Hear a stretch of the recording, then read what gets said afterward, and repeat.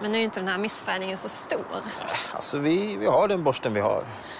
Men förstör inte det här emaljen? Ja, vi återställer det i så fall, så gott det går.